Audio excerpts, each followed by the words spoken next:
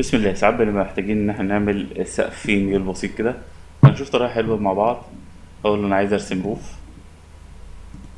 ألغي ال slope. وهقول له ارسم لي ال roof أهوت.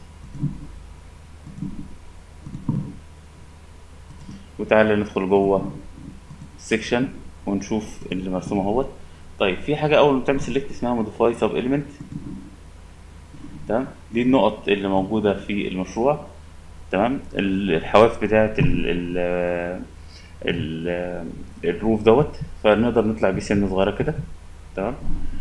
وهقول له ماشي okay. escape عشان من الأمر. في ميول زي ما أنت شايف تمام؟ بس الميول ده للوحة كلها من اول لاخرها طيب أنا لو عملت select كده عليه ودخلت على edit طيب تمام؟ ودخلت هنا في ال structure تمام؟ الطبقات دي كلها ممكن نشتغل بيها مفيهاش أي مشكلة بس عشان نسهل الموضوع وبعد كده نرجع لها تاني مفيهاش مشكلة. نخلي طبقة واحدة وأخليها variable okay؟ okay. حصل إيه؟ ده هو الحتة اللي تحت كلها متساوية تمام؟ ودي بقت واخدة الارتفاع اللي إحنا اديناها له. وده ده الارتفاع الأولاني. يعني ده كان الارتفاع الأولاني وإحنا زودنا المسافة ديت. تمام؟ فدي من ضمن الطرق الجميلة جدا إن أنت تعمل slope واضح في ال- ال roof بتاعك ونفس الكلام ده في ال floor. تمام؟ طيب تعالى نشوف حله حلوة بقى. لو أنا ضفت ال- finish اللي إحنا لغيناه دوت وهنرجع له تاني. يعني في تكه كده هنقولها دلوقتي. up up up تمام؟ هقول له thickness ده خليه مثلا 100 تمام؟ واقول له okay لاحظ ان أنا مخليش ده ال variable ال variable اللي هو الأولاني. هيحصل إيه؟ تمام؟ خلينا ندخل هنا عشان نشوف التفاصيل.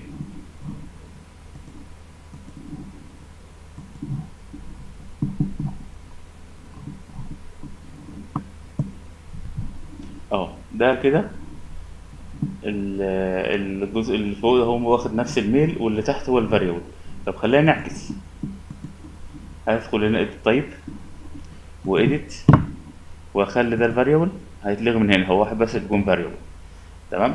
أقول له okay. okay. حصل إيه؟ الجزء الأولاني مبقاش variable الجزء اللي تحت ثابت. هو واخد نفس ال- المقاس اللي إحنا اديناهوله واللي تحت واللي فوقيه. تمام؟ بقى هو ال variable وهو اللي بيتغير حسب التغير النقط بتاعته. فدي من ال- ال- tricks أو الحيل اللي بتسهل الموضوع دوت. اللي بتخليني أعرف أعمل ميول وشكله آه، صحيح وما فيهوش أي حيل من الحيل اللي هي آه، إن أنت تعمله draft أو كده لأ هي هنمذجه حقيقي زي ما هو هيتنفذ في الموقع.